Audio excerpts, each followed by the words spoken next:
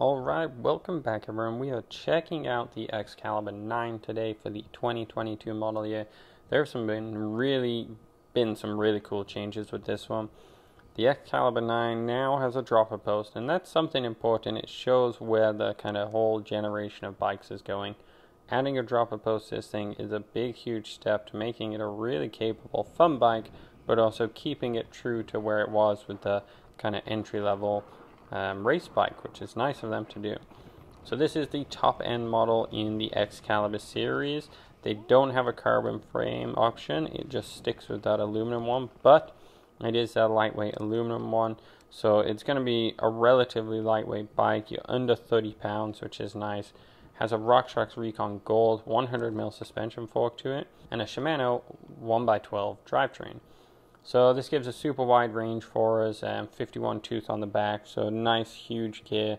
Again, a lot of the times I think for experienced people that's almost too kind of small or too big, too low of a range. I don't think you'll really need it that often, but for the newer riders it's nice that it's there. So like I said, this is the aluminum frame. It is an alpha gold, so it is the highest level of aluminum they make. The tapered head tube on that frame makes it more upgradable as well, allows a bit more precise and confident handling in that front end um, with a Boost 141 rear hub. So that's really nice. With this new year model, they have shortened up those chainstays again. I mean, it's it's a growing trend that everyone wants to do. The shorter the chainstays, the smaller that back end is the more nimble, agile it'll be on handling, which is just a really nice thing to have. You can't be, there is no downside to having a, a more agile bike, honestly. With the frame, they have stuck to that same smart wheel size they keep true to. So on the two smaller sizes, they go in with a 27.5, but everything else is 29. It is the fastest rolling tire, and that's where they're going for it. Obviously, the frameway is all internal cable routing, as with pretty much all Trek models now. They've really nailed that kind of clean internal routing. It looks really nice. It offers a small amount more protection, um, but for the most part, it's just about looks. It's super nice. Until you need to replace a cable, it's there's no downside to it. Replacing a cable does become a little bit more work. It is nice as well with that internal cabling is included that internally uh, routed dropper post. So that's something new this year to have that drop post on it. It's a big savings to to not need to buy essentially. Does still have kickstands and rear rack mounts, so if you are looking for a really fast commuter, this could be an option for you. Obviously, the majority of people will be buying this for kind of cross country trail, but that doesn't mean everyone has to pick it. It is going to be a lighter, faster cruising um, commuter, which could do some kind of gravel riding too as your all-purpose bike. So the RockShox Recon on the front there, it is the gold RL and it does have the Debonair spring in it, so it is a little bit more adjustable um, based off your weight, which is nice. It's a 100 mil travel and it does have the 15 mil axle on it, which is a nice addition and boost 110. So both front and rear are the Maxle, which is cool um, it's going to make it a little bit more stiff, more controllable through it. Um, and as well, it just makes for a cleaner assembly and disassembly if you're ever taking the wheels off for traveling, if you're racing or something like that.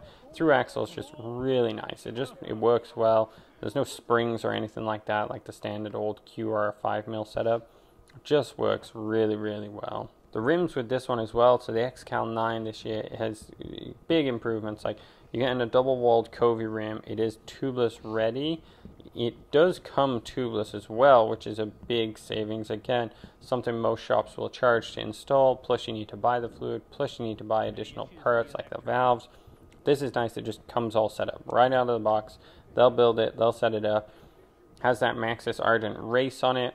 Obviously, right now with a part shortage, we have seen things interchange. So you might get an XR2 or potentially something from Kenda, or maybe a little more aggressive bike, but it, it's nothing too crazy different with the 2.35 on it. So as with everything, it's getting beefier and beefier, more heavy duty.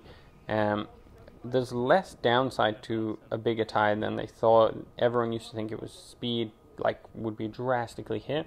But I say a 2.35 rolls fast, you can drop the PSI way down with it and have a little more consistent control with it and a little more durability with it. It has that exo casing on it. So you're able to take this a lot more aggressive terrain than ever was able to go before, which is where people are going. And, you know, it's more that downcountry touch to it, which you can always change to a really fast rolling one and lose that traction. But a lot of the homemade trails now, they're a bit more downcountry designed. Onto the shifting, like I said, it's at 12 speed with the 51 on the back. It is a mix of the XT and SLX. Again, there's a bit of confusion as to what's the big difference between SLX and XT. Honestly, there's not much. The SLX is still going to shift superbly well. That is the shifting unit, and then the rear derailleur is an XT. So if you ever wanted, you could easily upgrade the front shifter to an XT one, and you'll have a slightly faster one but more importantly, a little bit lighter weight. I don't think many people would ever do that, but it's a good option to go to. The front chainring, surprisingly, is a 30 tooth. surprised they didn't put like a 32 on this one. The disc brakes are honestly shockingly good. So this comes with the MT 4100. So this is like honestly, they've got a lot of bite to them, a lot of power to them. Shimano, so it's very on-off, very touchy which a lot of people like. It gives like an instant feedback to it compared to SRAM, which is a little softer, a little slower. This one will just react superbly well with 180 mil and 160 mil brake rotors on them. So you have a lot of stopping power behind this. This is actually going to, when you want it to stop, it's going to stop really, really well. Still has a 31.8 stem to it, so you're not going to get that big 35 mil handlebar, but it's still a big size. It's still going to have a lot of stiffness and control to it. And honestly, again, for most people, I don't know if it's going to make a huge difference. Like I said, the weight is under that 30 pound mark. So without pedals, you're probably looking around the 27 and a half pound mark or 12.5 um, kilograms. So it's going to be really a lightweight bike right out of the box. Obviously, if you put a few carbon parts like bars or something like that, it's going to really shave it down. And remember, this is also with a dropper post, so 27 pounds with a drop post is pretty impressive. If you had a really big hilly course, you could really shave off like another pound by just getting rid of that dropper post where you might not need it as much. The X-Caliber really is designed to be a fast rolling kind of classic cross country hardtail. It's going to be really quick handling and a lightweight bike. You know, obviously it's not in that 20 pound mark for the price it is, which you know, you're, well under the $3,000 mark, but it's well over the $2,000 mark in Canadian dollars. It's a, it is a race bike. It has got the high end power spec to it. The 100 mil travel is still appealing, and that cut in weight is still going to be appealing to a lot of people who just want to get out there and get some kind of fast lap times in, the Strava KOMs, such like that. Like it's going to be a really good bike for anyone who is trying to attack those goals without spending, you know, $4,000 for a really high-end hardtail carbon bike. That being said, as well, with the higher-end part spec, as well as having all the rack mounts, it does make for a really capable commuter or adventure bike. You know, you're still in a relatively comfortable position. The dropper post now means no matter what terrain you come across, you're going to be able to take it. Having rack mounts means you're going to be able to load it up really well. So this can also be thought of as like a, a heavy duty checkpoint gravel bike. You know, if you put on a slightly slimmer tire or even just stuck with what was on it, you're still going to roll fast. You've got a huge weight savings compared to a full suspension or something like the Roscoe, this is going to cruise on gravel significantly faster. And um, when you come across these faster path trails and stuff, it's actually going to dominate on that really well. So you've got to remember that is an option for it. If you want to put out some big kilometers and shortcut through the trails, this is going to be a lot more capable than a checkpoint. You know, the checkpoint is going to be really difficult to handle in the off-road sense of things. So the X-Caliber can be a really capable bike, and I think that's why they keep it in that name of Excalibur, the kind of the one to rule it all kind of idea. It can do anything. It can do a bit of downhill. It can be aggressive, but it can also be a really capable bike loading it up or just simply commuting. You'll be able to rip around town with this, shortcut anywhere, and not have a worry about it. And that drop post is just going to be a nice little addition to it.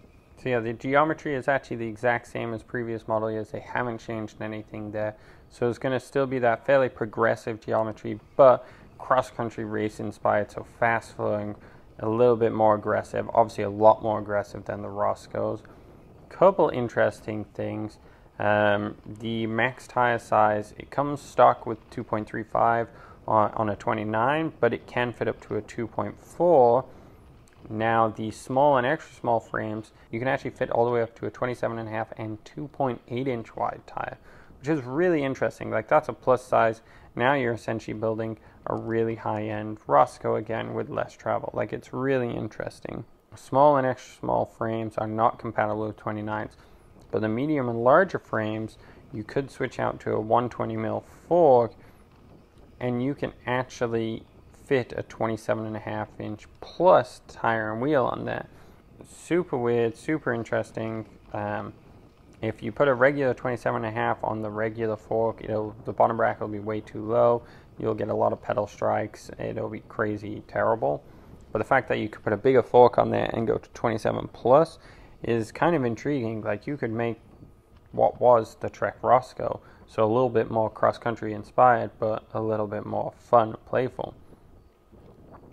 You can fit a 32 tooth chainring on the front as well. Um, so it will be a little bit faster on the faster kind of rolling sections. And then, yeah, there is no women's size in this one. It just goes to the main kind of men's size or mainline size as they call it. And they just have a couple extra colors throughout the entire line, which this one only comes in one, which is a little disappointing, but I, I don't think it's going to be a huge, huge seller. It's a pretty small market now. Alright, so the X-Caliber 9, this is the 2022 model. Hopefully this uh, kind of breaks down what it's for and who it's for. Uh, keep an eye out for more videos. Hope you enjoyed the ride and good luck, guys. Thank you very much.